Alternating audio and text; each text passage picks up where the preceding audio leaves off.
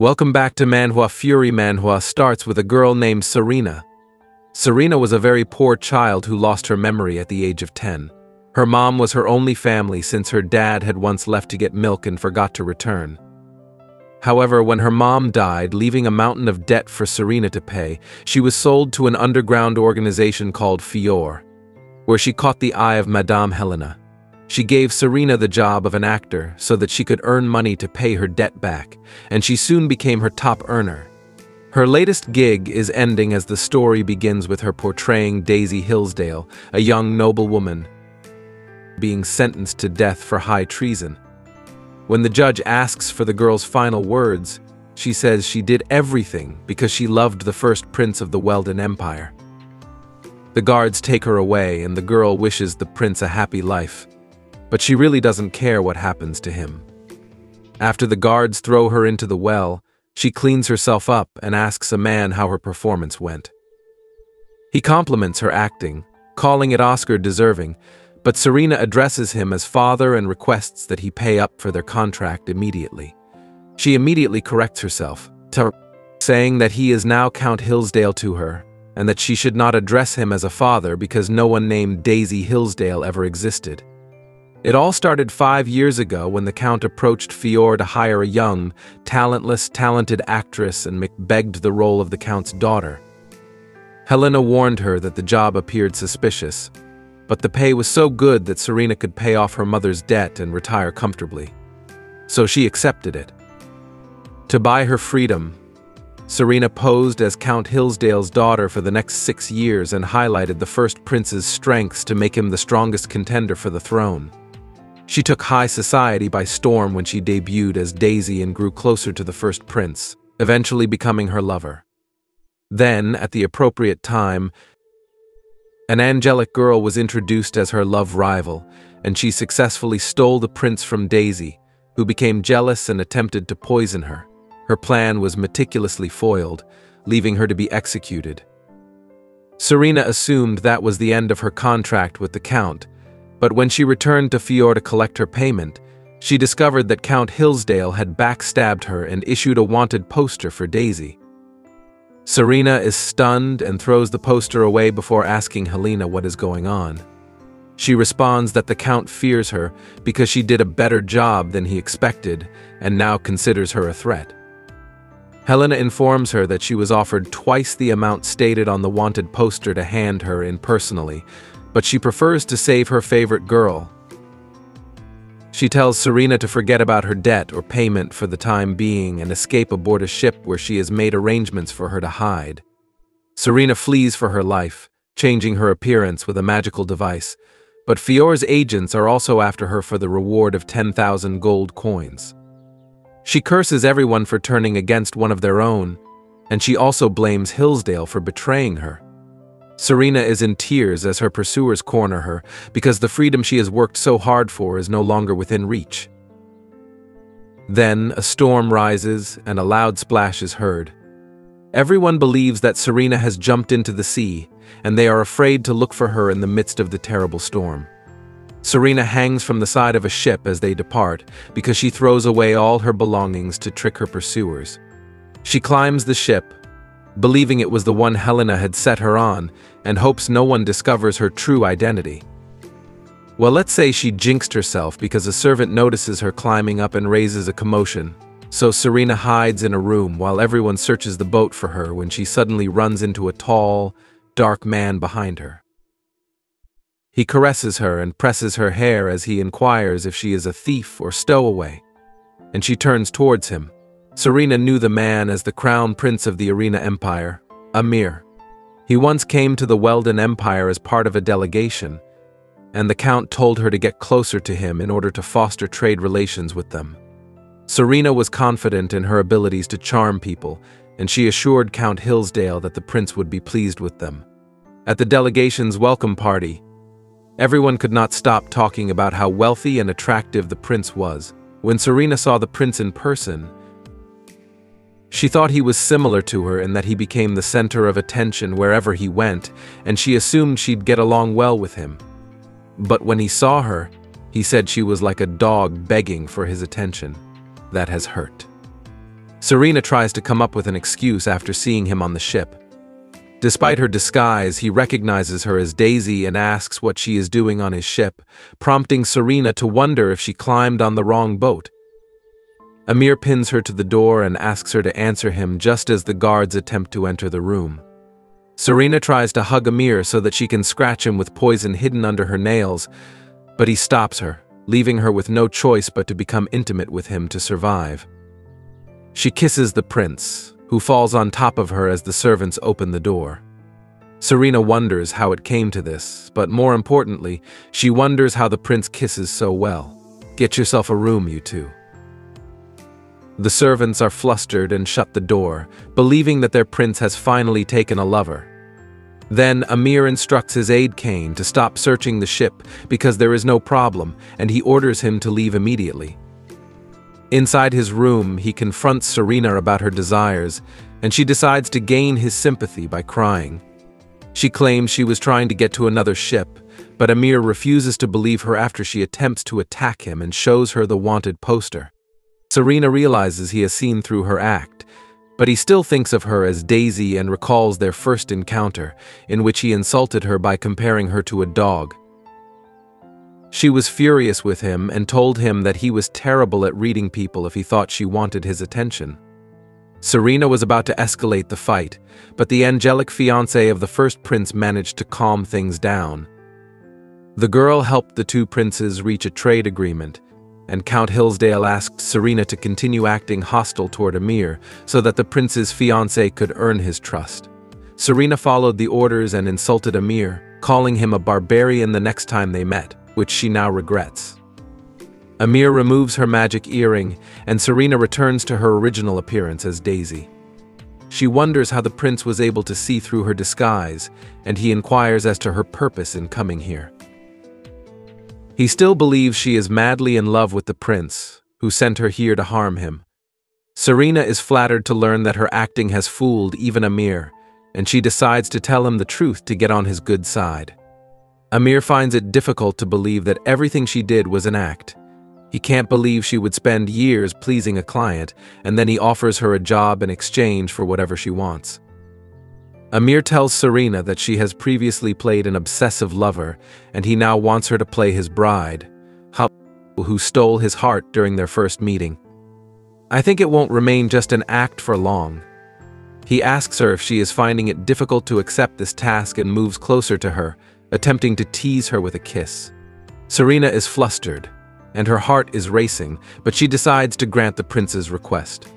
The ship departs for the Arena Empire, and the servants and knights outside are overjoyed that their prince has found a wife candidate. Then Kane informs the knight captain, Aiden, that there is another woman on board, a spy sent by one of the prince's enemies. She attempted to seduce Amir, which was the worst way she could approach him, and he immediately threw her away.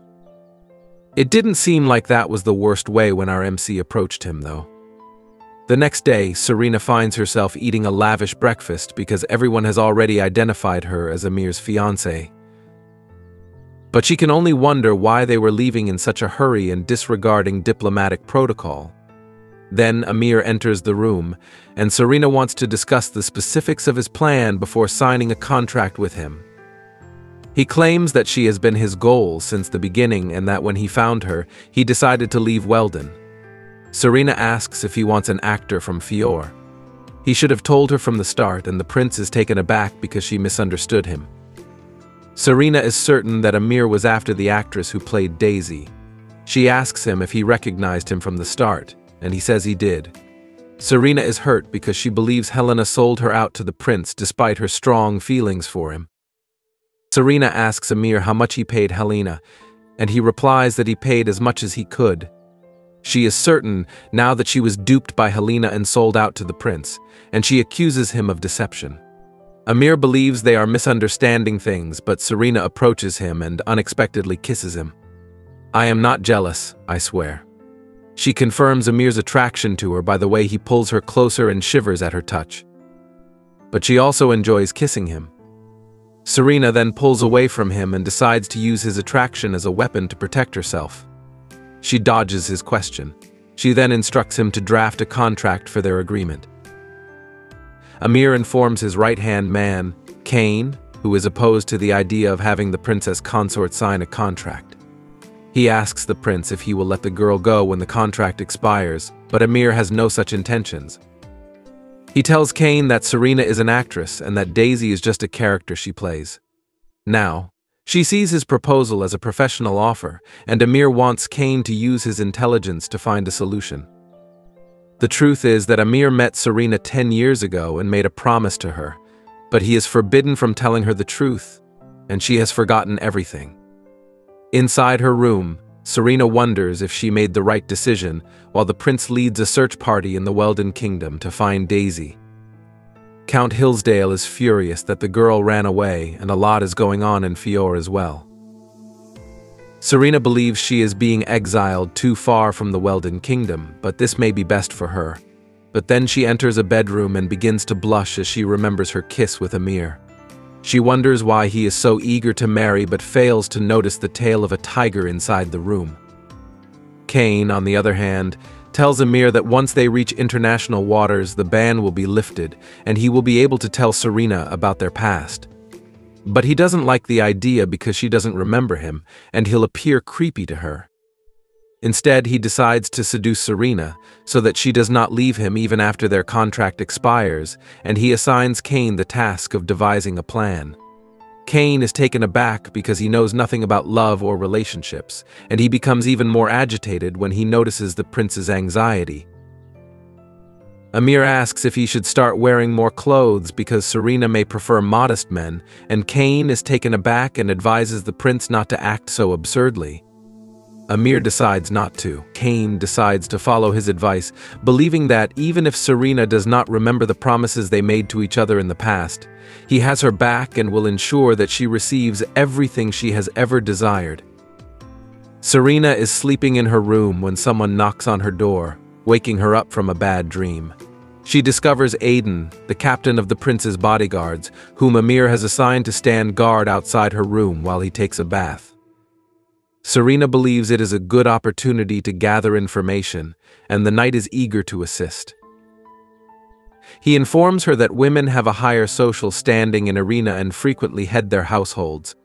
However, Aiden is unsure about her roles and responsibilities as the prince's wife. Then Amir emerges from his bath and is overjoyed when Serena says she was waiting for him, but she only wanted him to look over the contract she had drawn. According to the contract, they will act as a married couple in love, with Amir protecting Serena's life. Amir is also concerned about Serena's identity and providing her with any assistance she requires. She has asked for 10,000 gold coins in exchange for the service, but Amir is concerned about the last two terms. Serena does not want him to contact her after the contract expires, nor does she want the duration to be long. Before Serena asks how long they should keep the duration, Amir asks her what happens if she fails, to which she confidently responds that she will not fail and will do whatever he wants. Then she says that she doesn't want to extend their contract beyond two years because it will cause complications and raise suspicions that they don't have a child yet. Amir blushes upon hearing that, and Serena adds that it is unavoidable for them to sleep together after marriage, even if they have a contract, and she intends to obtain some magical contraceptives beforehand. Amir can't take it any longer and lifts Serena up, saying that now that everything has been finalized, they will do as a married couple would. He takes Serena to his bed, but she falls asleep before they can get intimate, and Amir notices she is having nightmares. He hugs her and tells her to sleep well. Well, even I think it's too early for them to start practicing to make babies. The next day, Aiden's twin sister Dana begs Kane to let her see the princess consort, but he declines. The other soldiers have grown accustomed to Dana's childish nature, but they recognize her as the ship's strongest, and she is the strongest soldier. In their room, Amir asks Serena if she enjoyed the bath he gave her, and she thanks him. She compares it to heaven after going through so much. But the prince blushes when he notices some bangles on her wrists. Serena then tells him that the servants were unnecessarily devoted and giddy while serving her and that even though she couldn't understand what they were saying in their language, they became very excited when she expressed gratitude. Then Amir says that they can continue where they left off yesterday, and he approaches Serena. She tries to get away by claiming that they require protection, but Amir informs her that the bracelets she is wearing are the magical contraceptives she requires. He can't wait any longer and approaches Serena, but she tells him to stop. She points fearfully at a tiger in the corner, and Amir identifies it as a spirit. He informs her that, unlike in Weldon, magic still exists in Arena, and those who can properly wield their magic can summon a guardian known as a spirit, with Amir being the only one who can summon a spirit across the border. He assures Serena that his tiger Leo will not harm her, and he resumes his intimate relationship with her. Serena feels great while kissing and embracing him, and she wants to move forward, but she is nervous because she has no experience with physical relationships. Helena had warned her and the other actors not to give their hearts or bodies to anyone while acting, as this would only lead to trouble. So she pushes Amir away, who is disappointed that she refuses to sleep with him. He claims that he thought she wanted him because she was using magical contraceptives. Serena blushes, but she stops the prince and adds one more condition to their contract. They will not be intimate unnecessarily. Amir is upset, but he agrees to her wishes and signs the contract. Serena then asks him to give her a name because she can't use Daisy anymore and needs to keep her real name hidden for her safety. Amir names her Nisar, which is the name of the goddess of the sea in Arena. Serena's heart skips a beat as she hears her new name and signs the contract under that name. Kane and Aiden are discussing the prisoner's abilities in another part of the ship, and they believe that once they arrive at Arena, her magical powers will be removed, which would be the worst punishment she could receive. The woman strains at hearing this, but as they arrive at Arena, she is shocked. But as everyone leaves her alone, she begins working to escape her cell. Kane meets Serena for the first time at night, and as she greets him warmly, he becomes enthralled and swears his allegiance to her. Amir tells him to stop talking and asks him to examine Serena, who is having difficulty sleeping. Serena finds his method of examining her strange, and Amir has never told her that his assistant is a doctor.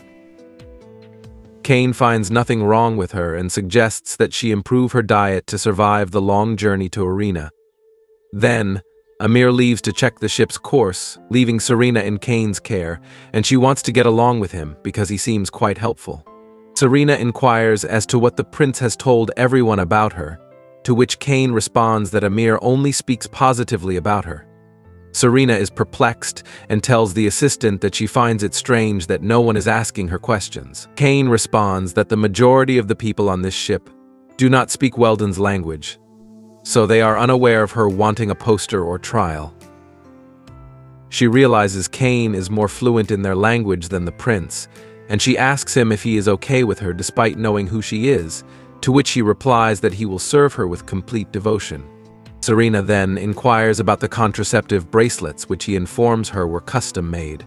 Serena has noticed Amir wearing a few of them, and she believes he must do so because he shares his bed with many women.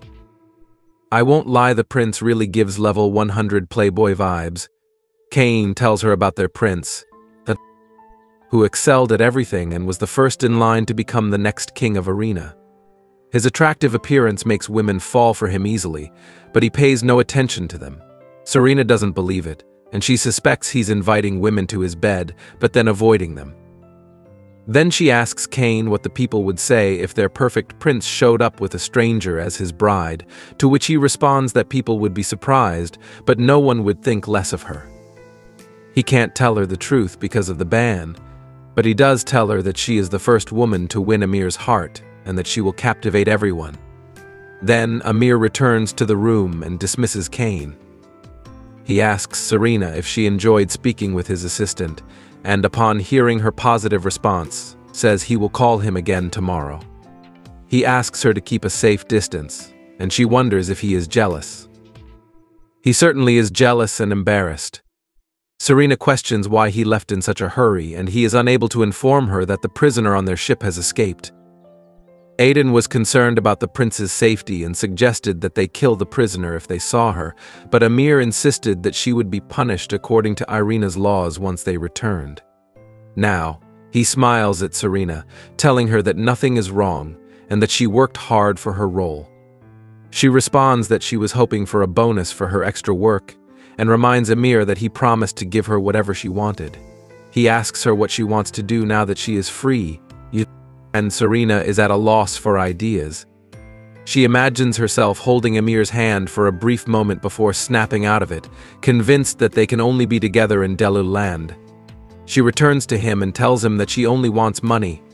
Outside, Kane meets with Aiden and informs him that Serena possesses extraordinary wealth. Serena has extraordinary mana, and even her words of goodwill have magical properties. Kane believes Serena's presence is already as powerful as that of a high priest, and once she crosses the border, she may improve dramatically. He then dismisses Aiden, and the assistant wonders if Serena will be okay because she knows nothing yet. Then Amir approaches Kane and admits that he may have messed up things with Serena. She told him she only needed money, but the prince exaggerated her response. To him, she appeals that Serena has no money. He appears sad, as she stated that nothing other than money makes her happy. What the hell? Kane is taken aback when he hears this story, and he agrees that Amir has put himself in this bad situation. Meanwhile, Serena is thinking about what happened earlier. She had always wanted to be free, but she never considered what she would do afterward. She believes that Amir gave her a second chance to earn her freedom and treated her with kindness, which is why she thought of him then. But she believes that love is not in their contract, and she is confident that a playboy like him will never fall for her. Sigh. If only she knew the truth. The tiger suddenly roars and stretches before falling back asleep, terrifying Serena. She screams for it to go away, which brings the tiger closer to her. But Amir enters the room, and she is relieved to see him. He discovers that Serena is uncomfortable with Leo, so he sends him away. Then Amir kneels in front of Serena, stating that he needs her to do the first thing outlined in the contract. He says they need to seek permission, and all Serena has to do is stand by his side. She dresses up in traditional Iranian attire and realizes that these people are more superstitious than she expected. When Amir told her that they needed to perform a ritual for the ruler of the sea as they crossed the border, because it would become angry otherwise, she didn't realize it would require so much planning, then Amir enters her room and asks if she's nervous.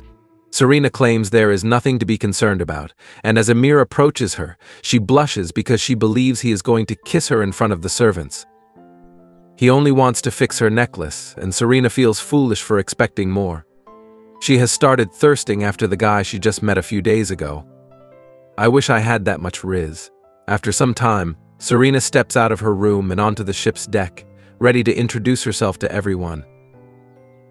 She is greeted with a rhythmic thumping, and she discovers that the people on the ship are bowing before her and hitting the deck to welcome and honor her. She is awestruck by the sight and recalls Kane telling her that everyone would respect her. She feels intimidated, but she walks to the front of the ship, where a servant forces her to wear a magical robe. She wonders how many magical items the prince possesses, and then Leo appears and stands right beside her. The tiger looks at her curiously, and Serena is terrified of him. But she must maintain her image of being a hero. She tries to be the perfect princess consort and tries to appear tough. Her acting fools everyone, and she believes Leo is very close to her, demonstrating how close she is to Amir. Serena is holding back her tears when she hears the rhythmic thumping again, and she realizes that the prince is about to make his entrance. She smiles as she spots him. Amir gently takes her hand and whispers that he was almost fooled by her acting and thought she was delighted to see him. Serena feels bad about it because her smile is not part of her acting. Then she notices piles of gold, jewels, and fresh, exotic fruit in front of them, and she wonders what's going on. She is intimidated by the scale of the ritual and asks Amir if he is certain she does not need to do anything, to which he assures her that all she needs to do is stand by his side. Kane soon hands Amir a branch, and the prince assures Serena that she does not need to be afraid of what will happen next. The servants next to them are also holding the branches, and Serena suddenly feels the entire ship rumble violently. She wonders what happens when the sailors blow conch shells and the rumbling stops. Amir holds Serena's waist and instructs her to stand tall. She doesn't understand anything, but she knows there is something beneath the ship staring at them. Then she hears a sharp screech followed by complete silence, and Amir kisses her forehead, assuring her that everything is fine. The servants begin singing and Serena looks at Amir, who appears unfazed and valiant. Despite the circumstances, he commands the door to open in his native language, then gently holds Serena's hand and touches it to the invisible barrier in front of them. Nothing could have prepared Serena for what she saw after the ship passed through the barrier. As the sea and wind glowed, a massive blue dragon stood before them. She suddenly begins to understand the song in Irina's language and wonders how this is possible, given that she is unfamiliar with the language. She noticed that everyone was singing praises to the giant dragon staring at them, so she asked Amir what was going on. He only smiles at Serena as he welcomes her to Arena, and then she collapses. Amir carries her back to their room in his arms. She is embarrassed and asks him to put her down. But he refuses and holds her even as he sits. Serena flails around, but Kane advises her to stay still because she has lost a lot of energy. However, being next to Amir could charge her up quickly because they have such good synastry. That is a new term for her, but first, she questions Kane about the snake on his shoulder, to which he responds that it was his spirit that he could manifest within the border. Serena then asks him about synastry, and he says that their manas are extremely compatible and that simply being close to each other has a positive effect on them.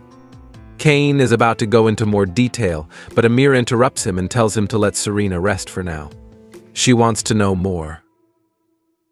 So Kane explains that the border they just crossed separated the land with magic from the land without magic.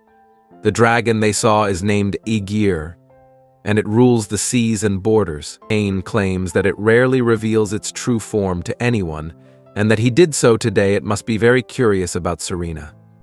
Amir then dismisses his assistant, but Serena invites him back the next day to tell her all about magic and Arena. As Kane departs, Amir leads Serena to her bed and instructs her to rest.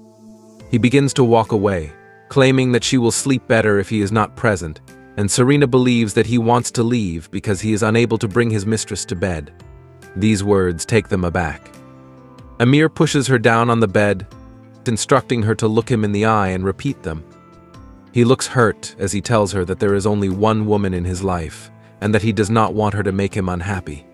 Amir apologizes for his aggression and begins to walk away, but Serena feels terrible when she sees the look on his face earlier. She kisses him without realizing what she is doing because she doesn't want him to be hurt. He asks her what this means, and Serena says it's her apology. Amir blushes as he repeats that he has no woman in his life and will never have anyone other than her. He admits that it was his fault for not properly explaining things to her, and that even the priestesses who gave her the contraceptive bracelets did so because they thought they would be appropriate for her. Serena smiles as she says it's good to have the misunderstanding cleared up, and Amir approaches her, saying he wants something else instead of an apology. He picks Serena up, and she realizes he wants her permission. She desired the same thing as him, and as they kissed, she was unable to resist her desires any longer. After spending the night making love to each other, Serena nervously asked Amir if people thought it was strange for her to faint during the ceremony. She is embarrassed that she collapsed in front of everyone. But Amir says it's okay because she fainted in his arms. She transformed the dragon into its true form, demonstrating her uniqueness. Back in the Weldon Empire, Count Hillsdale confronts Helena, accusing her of betraying him and allowing the girl to escape. She reminds the man of his betrayal first, and they agree to forget about it and declare Serena dead. Instead, he offers Helena 10,000 gold coins in exchange for ensuring that the girl never returns to this country, and she accepts the offer. The woman really liked Serena and wanted to train her as her successor, but she is grateful to her for bringing such a big payment even at the very end. But then, one of her acquaintances approaches her from the shadow. The man tells her that he is here for what is his and asks Helena to tell her about Serena's location. She tells the man who called the instructor that the girl is not his and adds that she does not know her location. She knows that dealing with this man will not be easy, and she doesn't understand why he is obsessed with Serena.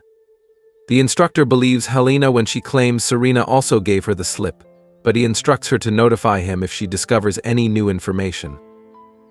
As he leaves, the woman buries her magic ear in a pot, recalling the other piece of the set she gave Serena. It wasn't just a magical tool for changing her appearance. It could also be used to track the wearer. And Helena believes it's nothing personal if she betrays her best earner. I am starting to hate these guys. He believes she does not fully trust him and is unaware of their past. Ten years ago, she asked him to get her in the future, and that was what kept Amir going. Then Kane appears and informs Amir that the prisoner has killed herself, and he quietly departs with him. Serena, on the other hand, begins to have nightmares as he leaves and she mutters that she wants to escape. She recalls the instructor teaching her to seduce people and engage in indecent behavior with her in the name of lessons. Somebody call the FBI on him. Outside, Amir discovers that some servants were skipping work to have a drink, and when they heard the prisoner choke, they attempted to remove her gag so that she could breathe properly, but she used the opportunity to commit suicide by biting her tongue. Kane and Aiden are both willing to accept responsibility for the incident, but Amir advises them to focus on finding clues rather than dwelling on what happened. He believes the prisoner had an accomplice and that she was murdered. The two men are encouraged by his words, and they say they will look for clues and that he should return to the princess consort. Amir informs them that he is unable to do so because he must remain vigilant in the search for mutants. He decides to look for clues with his spirit because it will be faster and instructs Kane to increase Serena's security it's been a week since Serena crossed the border, and she's finally enjoying her life on the ship because everyone can now use magic, and she benefits from it. She is also learning about magic and arena from Kane. The world has four types of magic water, fire, wind, and earth, which can be combined to create a variety of spells. Serena is a quick learner who understands that a spirit reflects a person's magic. She questions Kane about why they can't use magic in Weldon, and he tells her a long story about ethereal beings like the dragon Aegir and the Witch of the North, who decided to prohibit magic on the central continent. Serena thinks Amir is so impressive that he can keep his spirit even where magic is not permitted, and she discovers that his Leo is no ordinary tiger either.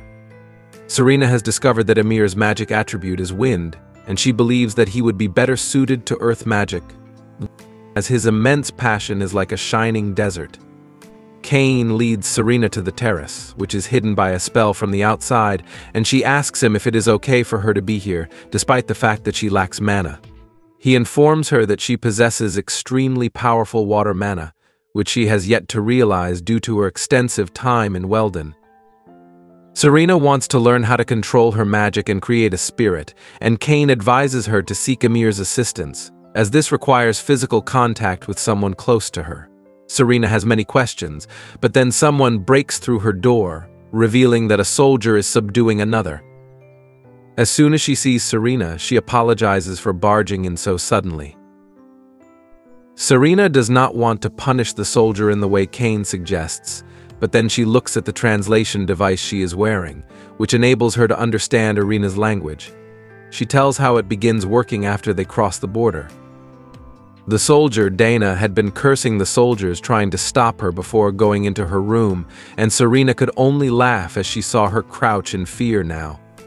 Then she notices fire around her body and realizes it is Dana's spirit. The girl is embarrassed to show Serena her incomplete and shabby spirit, but she compliments her, saying it looks like wings of fire. Her words attract Dana, and being around her automatically stabilizes her powers. She begins crying as she presents herself to Serena and declares her wish to serve as her knight. Dana is pleased and ignores anything Kane says to stop her. Outside, Amir and Aiden have uncovered no evidence of the prisoner's suicide, and they feel her accomplice must be highly proficient. Amir orders them to suspend the investigation until they reach shore and are safe from mutants. On the other hand, the priestesses who previously served Serena in secret are happy that they can now see her in public. Serena praises them for making her look good, but she hasn't seen Amir in a while. The priestesses chastise Kane for forcing the prince to work so hard and away from his wife, and she questions why the priestesses volunteered to be her attendants. Serena was taken aback when they initially presented themselves to her because their position was equal to that of a bishop. They served no gods but rather the sacred sanctums of their magical elements. The priestesses always went in groups of four, and the weather was always pleasant when they were aboard the ship. Serena was astonished to hear this and asked why there were only three of them and where the wind priestess was. The girls told her that Amir was the high priest of wind and had designated them as his wife's attendants. Serena sees how busy he is and is concerned that she will not be able to see him soon.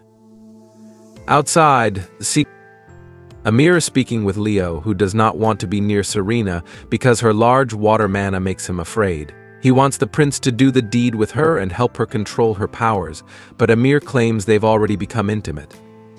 The tiger is like the older adults who want children from newly married couples just nine months after the marriage. Leo begins to chastise him like an older man when Amir notices a mutant behind him. He kills the monster with a single strike and tosses it into the sea. The soldiers are on high alert now, and Leo instructs Amir to enlist Serena's help in combating the mutants, but he refuses to let her bear his burden. Meanwhile, Serena waits for Amir at the dinner table, wondering if he's behaving coldly because he's had his way with her. When she hears a knock on the door and assumes it's Amir, then she realizes how much she misses him. She answers the door and notices Aiden standing there. He blushes as he says he was supposed to keep her company, and she invites him in. She invites him to dinner instead of Amir, and even though he is nervous, he accepts her invitation to dine and then apologizes for his twin sister's rude behavior. She realizes that despite their differing characteristics, both siblings are quite good-natured. Aiden explains to Serena that he and Dana are from the lower ranks, which is why many people were outraged when the prince picked them as his guardians. And Aiden has promised to follow him wherever he goes, Serena informs him that the prince is an excellent judge of character and must have recognized their worth. Then Aiden informs her that he boarded the ship because slave smugglers kidnapped and sold his younger sister in Weldon a few years ago, and he attempted but failed to locate her. Serena feels terrible for him and asks if they've ever met before, because he looks familiar. Just then, Kane comes and reminds Serena that flirting with anybody other than the prince is unjust, and she laughs as Aiden calls him. Aiden coughs up his drink, astonished. Aiden runs in embarrassment, and Serena orders Kane to clarify the situation with him. Then Leo enters and instructs them to avoid wasting time on trivial matters, instructing Serena to concentrate on activating her magic as quickly as possible by becoming more intimate with Amir. Kane characterizes Leo as a unique case, and the tiger advises Serena to mate with the prince to unlock her magic. The tiger really doesn't hold back. Serena is taken aback, but Leo exits after telling her what he wants. She asks Kane why everyone was so eager for her to have her powers, and she wonders whether Synastry was involved. She asks if this is causing her to develop feelings for Amir, and while Kane hesitates, Dana rushes in and admits that it is. She claims that twins have high synastry, which allows them to bond and feel comfortable near one another. Serena says she has never been fully comfortable with Amir and that she has never been fully comfortable with anyone in her life, particularly Helena, with whom she has spent the most time. And she wonders if her relationship with Amir is like that. Serena discusses her synastry with Amir Kane and Dana, and Kane informs her that just her synastry bond with him is not enough they must also be emotionally attached. Serena becomes serious after hearing this, realizing she cannot allow her emotions to interfere with the deal. Dana then announces once more that she will serve Serena as her knight. Serena then announces that she will serve Serena as her knight, and Amir enters the room, noting that his wife is very adept at charming others. He dismisses the two people, and Serena is astonished to learn that he has sent them here to look after her. She feels anxious since she is alone with him. And she becomes sad because she hasn't seen him in a few days. Amir is unaware that she has missed him and believes the priestess and twins are taking good care of her. Serena is surprised to find that he will be going again soon, and she tells Amir that the priestesses are concerned that if they do not meet on a regular basis, they may drift apart. Amir turns to her and inquires whether she is likewise concerned about it. Serena says that she is concerned because it is part of their contract, which upsets Amir. Serena then changes the subject to Dana, and Amir says he can't let her be her bodyguard because she already has too many obligations. Serena is astounded that a woman may be a respected knight in Arena but not in Weldon. Serena admires Dana and believes that her spirit is a phoenix. Serena then tells Amir that she is not a phoenix, even if it is not fully developed. Amir finds her points of view intriguing and he tells her that most people think Dana is incompetent when they first meet her. Then Amir returns to the deck and Serena appears unhappy that he left. He tenderly kisses her, stating that he does not want to leave her, but Serena wants to seek him for assistance with her magic. The next morning, Serena goes out on the balcony, where Amir informs her that she can now stay with him while he performs his duties. He hugs her fiercely, and Serena wonders why he is still on deck while the ship is protected by magic. Amir wants to tell her about the mutants, that but Leo tells him to stop, the servants discover the Khazard Canyon, which is the only way to get to Arena from this side, and Amir grabs Serena's hand as he approaches her to have a better look. She is drawn to the golden sunset visible between the canyon's steep walls and believes it is nearing them. A fireball is suddenly fired at them, but Amir shelters her with his robe. Things have settled down. Amir asks Serena if she is okay, and then a stranger jumps aboard their spacecraft and shakes it. The man approaches Amir joyfully, stating that despite being gone from home for two years, he has not lost his skills. Amir cautions the man to be cautious in his greetings because he is not alone. The man is shocked and intrigued to see Serena, but Amir does not let him get too close. She introduces the man as Prince Azim, Arena's renowned Red Wing. Azim advises her not to bother him, but Amir does not let him get too close. Amir does not let him get too bothersome with formalities instead. He approaches him by name or simply as commander. He's Amir's uncle, and he smacks his nephew, asking why he didn't tell him he had a female before. Serena recalls what she learned about Amir in class while he and Azim discuss his family back home. Azim was one of Arena's most significant individuals and guardian of the eastern provinces. He was married to Sakura, the Earth's high priestess, he raises his hands for an awkward handshake, and when Serena touches him, her hands can't be touched. Amir's uncle, Amir, catches fire. Amir swiftly extinguishes the fire and directs Kane to inspect Serena while he aggressively stares at his uncle, and Leo tugs on his robe. Azim apologizes, claiming that he wanted to test the girl but didn't understand she hadn't yet activated her magic. Before things get awkward, Serena comes forward and asks the commander to continue the handshake. Amir tells her she doesn't have to push herself so hard to be polite. But Serena only wants to experience the weird sensation she had earlier. Amir tells her she doesn't have to push herself so hard to be polite because it provides her insight into magic. She begs Amir to let her do it, and he can't resist her. Serena shakes hands with Azim again, and she feels hot and cold as she approaches a volcano. Serena witnesses a powerful red griffin Azim's spirit, hovering overhead as Amir drags her away from an approaching object. Serena was surprised when Amir started laughing, saying she was amazing, and Azim returned his bird because Serena had just overwhelmed him. Everyone begins whispering that Serena countered Prince Azim's power, but she doesn't understand what happened because she believes Amir assisted her. He quickly pulls her in and kisses her lips and the rest of her face. He hugs her firmly, claiming he can't stop himself, and Serena flushes as she senses his eagerness. Then Azim chuckles, revealing that Serena possessed immense power before awakening, prompting his spirit to help him, thinking that he was in danger. Then he leaves the ship aboard his griffin while Amir's ship approaches land. Everyone is thrilled to be back home, and Serena realizes that Arena is a much more simple and natural place than she had thought. However, she can't stop thinking about how abruptly Amir kissed her earlier, and she worries that she is developing strong feelings for him. Serena blushes as Amir approaches, but Kane suggests they talk discreetly. He informs them that Serena may have entered the stage of magic formation, but she is surprised because it is the second step after awakening, which she has yet to feel. Kane thinks Azim attacked her magic with her own, which could have sparked it. Amir claims his uncle was harsh, and Kane adds that Serena defeated the prince in such a supernatural contest. He believes it was done on her behalf by her spirit, who had authority over her magic. Serena still can't believe it, and Kane claims that her spirit was concealed, but it was performing admirably. He says that Serena has taken all except the first step toward obtaining her spirit, and Amir adds that Serena says that she did not feel attacked and instead landed up at the base of an illusionary volcano.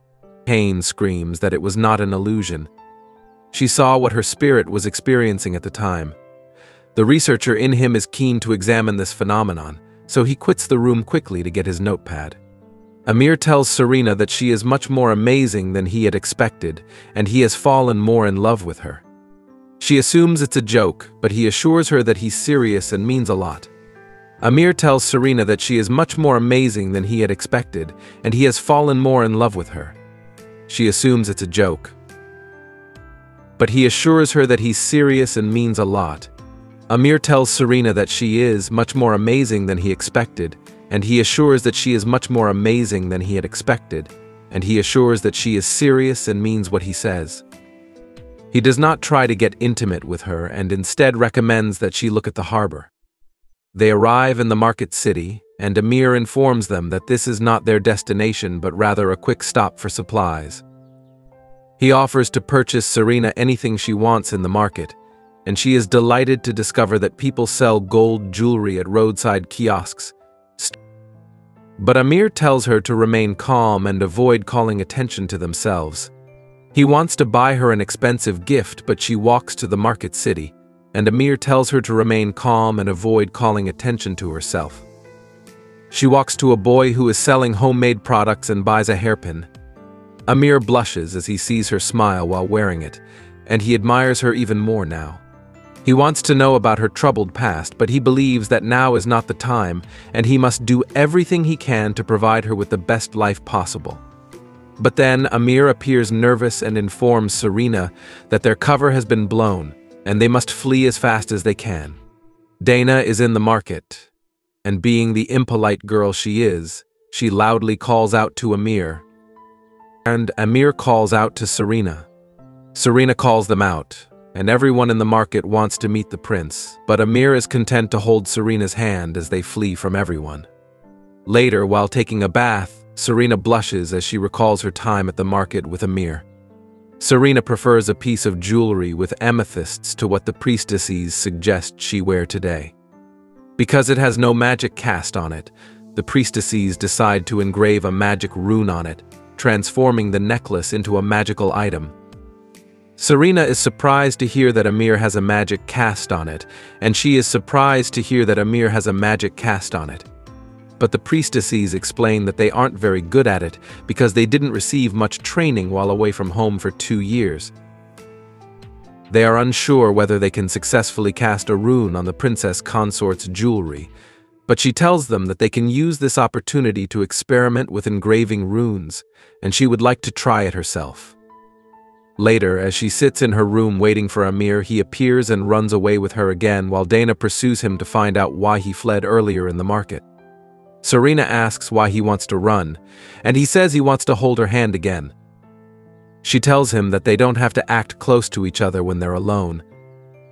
And while her words hurt him, Amir tells her to have her way. Serena calls his name and admits that she likes him as he begins to walk away. Amir is overjoyed to hear this, and he places her on the table while kissing her. Serena asks him what he likes about her, and he removes his shirt before explaining that for everything he tells her, she must reveal something as well. Serena blushes, but she believes that if Amir gives her some time, she will be swayed by her desires again. She notices him drinking wine and is curious he feeds it to her with a kiss. Then Amir suggests that they start telling each other what they like about each other, and as she mentions how much she likes his voice, he begins calling her name. Serena admits she enjoyed it when they got intimate the last time, so they do it again. Somebody tell them to tone it down a bit. Later that night, Serena has another childhood dream in which she plans suicide after her mother commits suicide, but Helena gives her a second chance at life. Serena now believes that whenever she and Amir have an intimate moment, she experiences flashbacks later.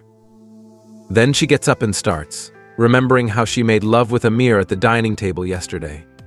When Leo comes to compliment her on last night, she freaks out and falls out of bed. The priestesses arrive just at the right time and the tiger flees. They appear worried and have shocking news for Serena. When Serena returns to her room, the priestesses apologize for ruining her jewelry when they attempted to engrave runes on it. They say this because they cast a very basic rune on an expensive gemstone, and Serena tells them not to worry because she was the one who instructed them to do so. Furthermore, she is pleased that they created a magical device together, and the girls are moved. Later, Serena wishes to ask Amir if there is another piece of jewelry they want to give her. She says no, and she gives it to Amir. They can practice on, but he declines before she can say anything.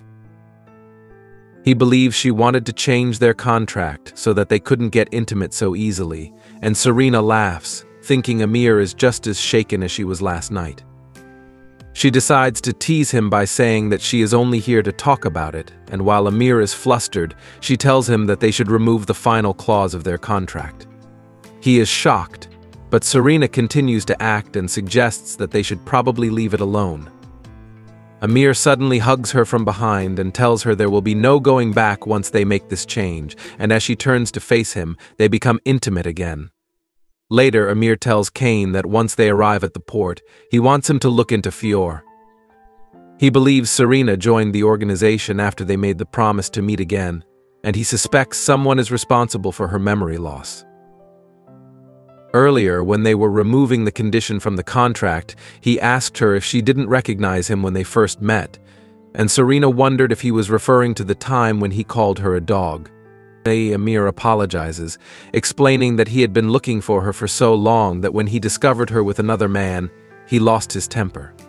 Serena dismisses everything, claiming that Veronica is a villain after all, and that she deserves it. But Amir claims he's talking about a time before she played Veronica when they met on a bridge while it was raining. She stated that he must have mistaken her for someone else. He was right that she wouldn't recognize him. Amir says that he must have mistaken her for someone else. He was right that she wouldn't recognize him. Kane promises to investigate the matter thoroughly, but then they hear a screech and a woman jumps on top of Amir, demanding that he explain everything to her and he tells her to leave him alone. As they both refuse to give in, Serena arrives and, seeing another woman on top of Amir, becomes enraged and demands an explanation. The woman inquires about the new girl and is taken aback when Amir reveals that she is his future bride. Then she snaps at him, saying that this man is a villain and that he is a villain. Amir says that he is a villain. This must be why he didn't return home for two years, despite saying he was only going out for a few months. She is furious and points her weapon at Amir, declaring that she will not forgive him. When he doesn't respond, she attacks him, and Serena rushes in to help him. She holds the girl's hand but still gets a cut on her cheek, telling her that they should settle things through words. But because of the cut, everyone is concerned about her. They completely bandage her face and offer her everything they have to calm her nerves, but Serena believes they should calm down.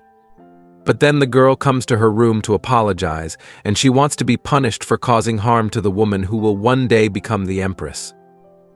She falls to her knees, offering Serena to confiscate her territory, and the outcome flusters Serena, so she asks Amir and others for some privacy. Serena recognizes the girl as Princess Vivi, the guardian of Serena's southern territories, and realizes how embarrassed she must be right now. Vivi is surprised to learn that Serena recognizes her name, but Serena has memorized that she is Amir's maternal cousin and a formidable warrior. She compliments Vivi and requests that she keep today's accident a secret from the royal family. Serena's kind and laid-back attitude astounds Vivi, who wonders how her cousin could fall for a woman so unlike him. She realizes she is much better than him in terms of personality and wonders why she would settle for Amir, and he enters the room as she says. Vivi is unaware that her cousin is listening in as she questions Serena about being forced to marry him, but when Amir tells her to leave his ship, she begins to argue with him. Serena interrupts them and says that, even though she doesn't know Amir well yet, she knows he will do his best not to make her regret this decision. She says she loves him, and Amir blushes, but Serena is only acting, yet she wishes Amir was telling the truth when he says he loves her too. That's what I call double standards. Then Vivi leaves for her room, where Kane promises to arrange for a priestess to care for her. Vivi claims she does not deserve such treatment, but it would be preferable if he served her himself. She aggressively flirts with Kane, but he pretends to ignore her advances. Is he dumb or something? Because I can clearly see what is going on. Then Vivi tells him that mutant attacks were decreasing in Arena, and it appeared to be the calm before the storm. Kane realizes it's been three weeks since this happened and three weeks since they crossed the border, and he hopes it's just a coincidence. Back in their room, Amir wonders what he should tell Vivi about their relationship, and Serena suggests that they create a fake love story to persuade her. Amir would prefer to tell her the truth, but he decides to keep most of it private for now. He is afraid that Serena will learn the truth and leave him, he decides to wait until her memories return, but in the meantime, he wants to spend more time with her. Amir kisses Serena and then takes her to bed, telling her that he will let her do whatever she wants, except leave him, and requesting that she tell him that she only loves him when they are alone. The next day, Serena worries about the bad dreams she has when she sleeps with Amir and wonders if she should tell him about them. Just then, Vivi sneaks up behind her and asks what she is thinking. Serena inquires as to how she entered her room, and the princess begs her to tell her. Amir says, I don't know. I don't know. I don't know. I don't know. I don't know. I don't want to keep her hidden from the servants who want to assist her in getting dressed. Serena chuckles at the tomboy, but Vivi asks if she's upset because she's finally regretting her engagement to Amir. Serena asks if she is opposed to their marriage, but Vivi says she is against it because her cousin appears childish. The princess then informs Serena that Arena is cursed and that monsters known as mutants appear unexpectedly there one day. Ten years ago, the situation was dire, and the entire Kingdom Kingdom was in danger, but Amir heroically saved everyone. This enabled him to become crown prince and gain power. Vivi assures Serena that her marriage to Amir will be successful because he is like Irina's son, whom no one can oppose. Just then, the priestesses arrive and take Serena away for their rune inscribing session, and Vivi believes she is truly angelic. Later, Amir disrupts Kane's bath time by bringing up an important matter with him. He informs him that the water priestess brought him the necklaces on which they attempted to engrave runes, she showed him a rare purification rune inscribed on an amethyst necklace, and the priestess explained that when Serena touched the necklace, something extraordinary happened. Amir immediately offered to become the patron of the three priestesses on the ship, asking them to serve Serena indefinitely. He told her to keep this secret from everyone, including Serena, and to hide the true meaning of the rune. Kane questions Amir's decision to keep this a secret, as does Serena, who had accidentally carved the rune of purification, like the one on the magic wand in the holy sanctum. He wants to tell her the truth, but Amir forbids it, reminding him of what happened to the previous wielder of such powerful magic. Purification magic was the rarest and most powerful magic capable of undoing destruction and curses, and when Arena was about to be destroyed, Empress Ramidus used it to save the Empire. However, in order to save her people through purification, she had to give up her life. Kane claims that things have changed and that if Serena creates magical devices, she will be safe and the Empire will be saved. But Amir remains firm in his decision to hide her abilities from the world. Serena, on the other hand, is wearing the magical earrings Helena gave her, and she recalls what the instructor told her about never trusting anyone on the job, which she believes she should remember now. When she goes outside, she is nervous because they are about to arrive at their destination. And when Amir sees her, He is amazed. Her beauty smites him, but Serena refuses to let him take a closer look, fearing that he will ruin her makeup. Amir tries to act hurt, but Serena ignores him and instead asks about the river and the crowd that has gathered to greet them. He says they are waiting to welcome her, and Serena inquires as to where the ship will dock, but Amir and Vivi laugh. Amir issues the command, the sails are furled, and the canal gates open as the priestesses sing.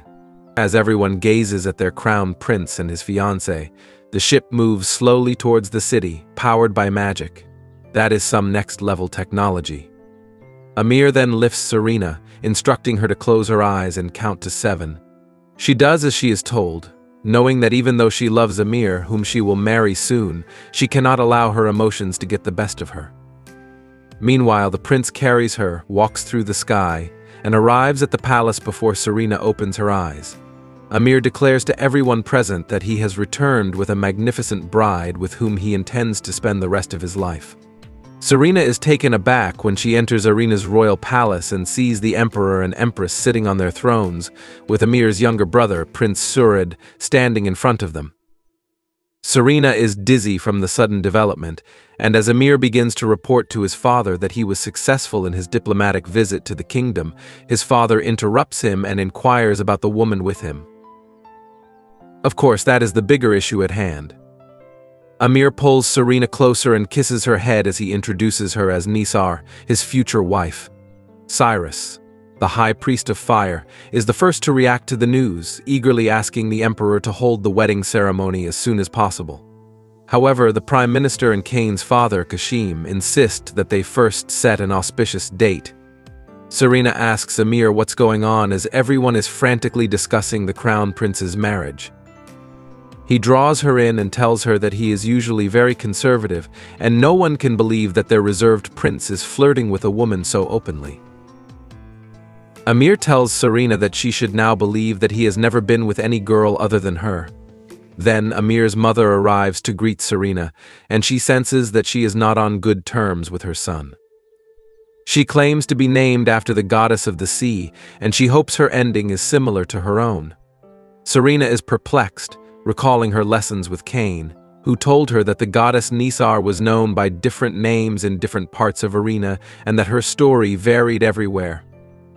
In the north and south, Nisar's story was a tragic love story, whereas in the east she had a happy ending after falling in love with a human and overcoming the god's opposition to marrying him.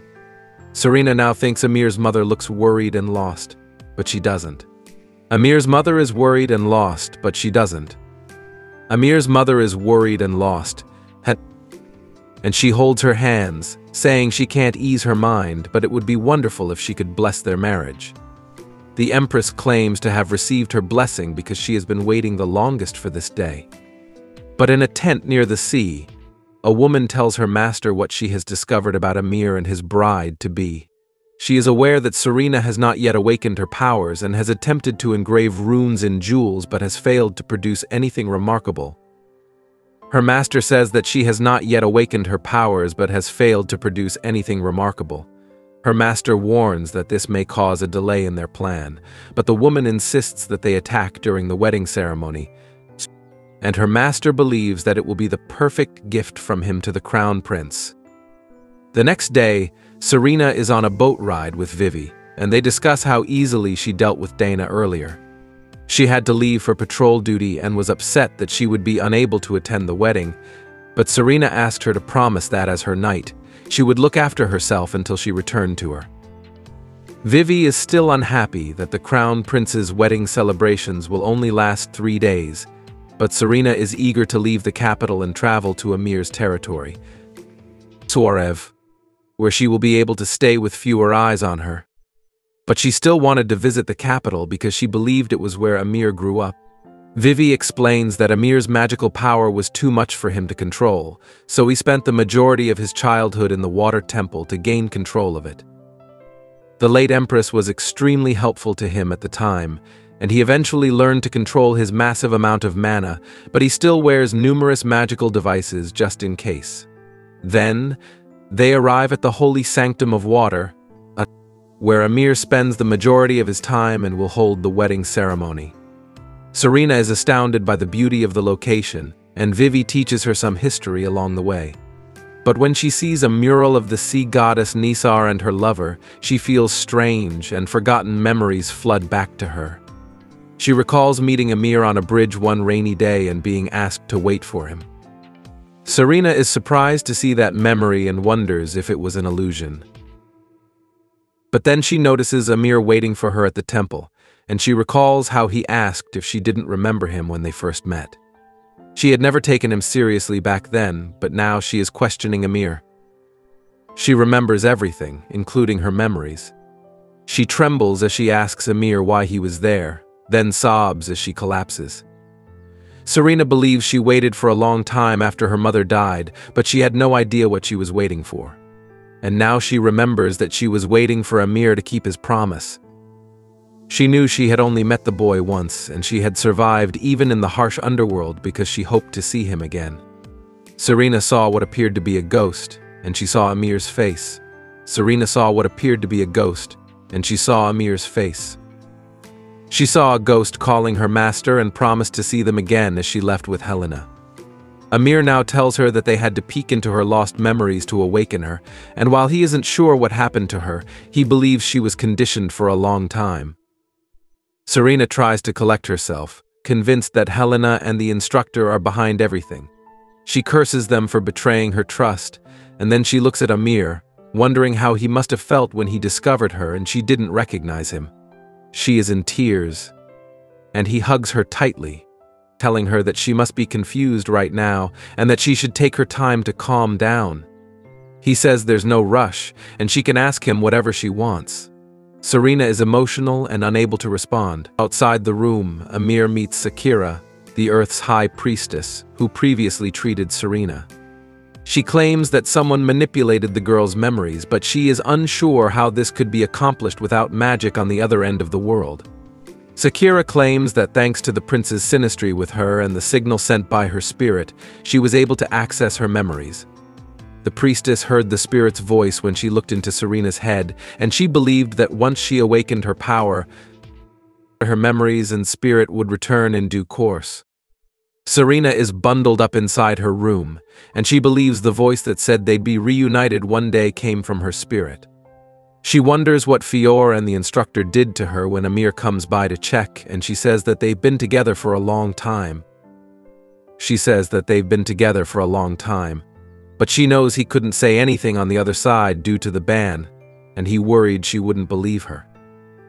She chastises him for apologizing and he laughs, saying that the main reason he kept it a secret was that she would flee if she discovered the truth.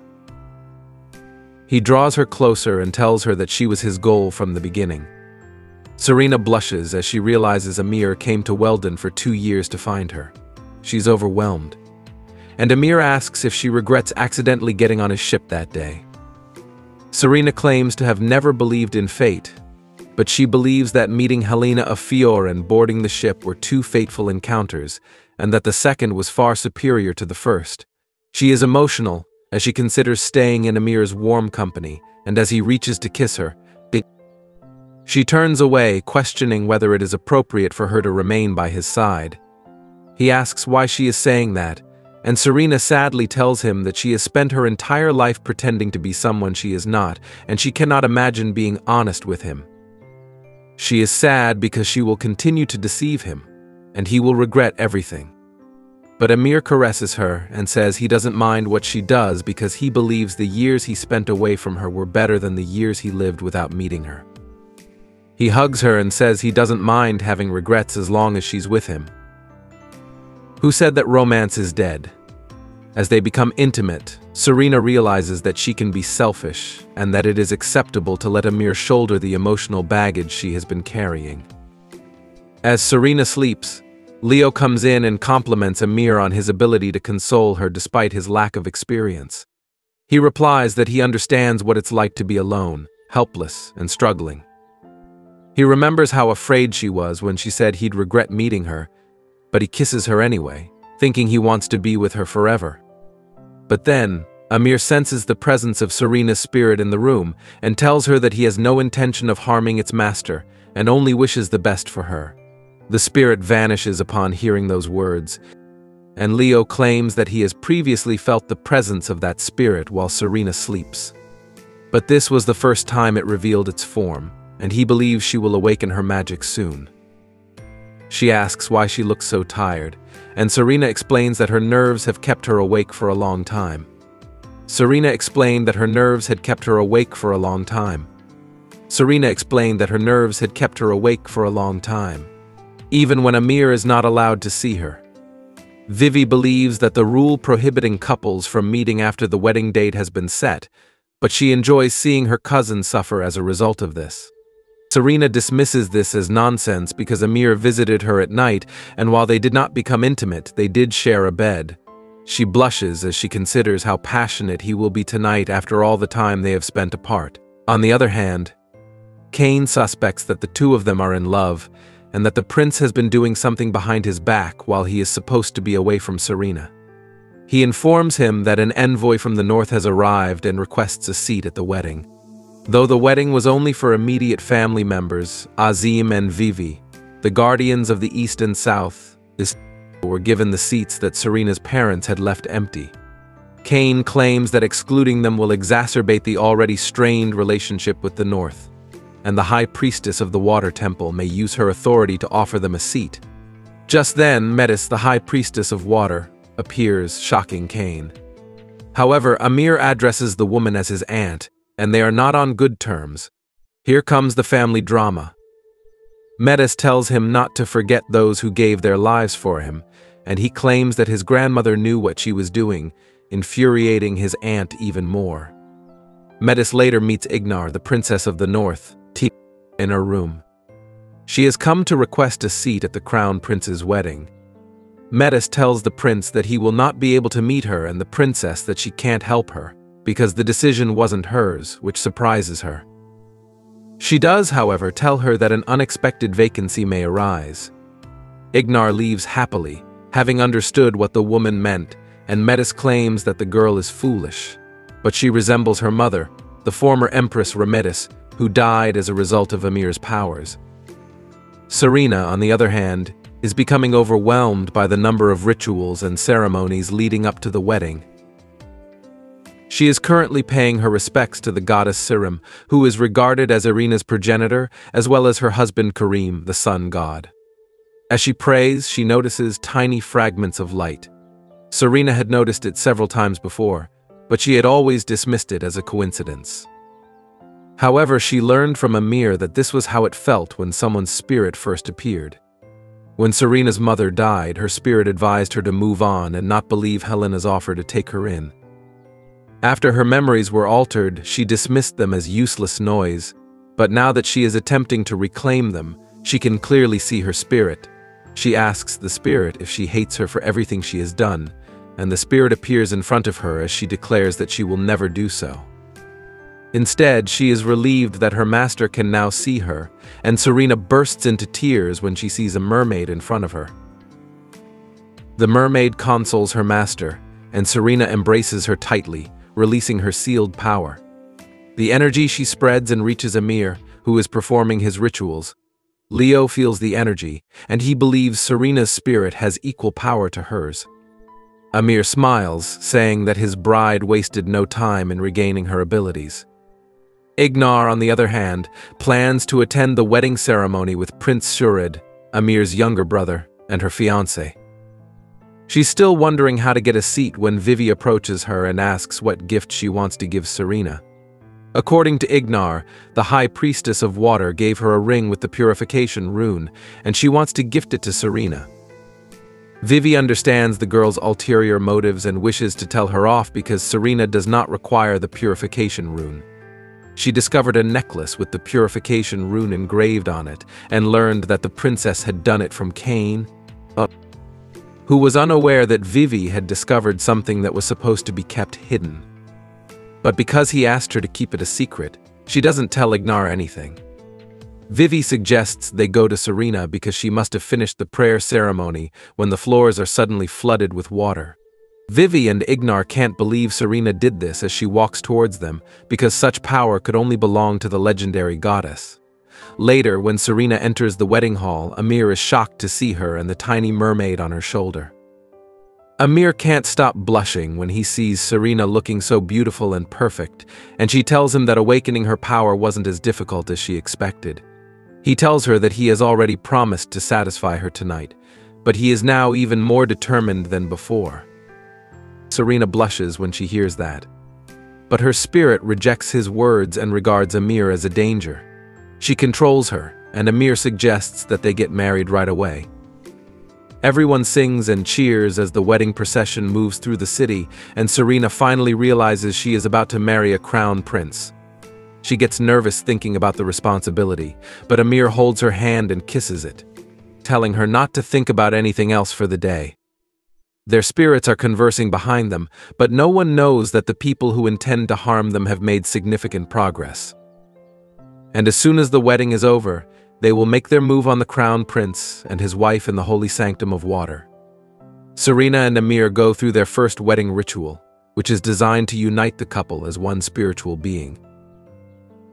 A priest draws a magical symbol on the bride and groom's bodies, forming an unbreakable bond between them.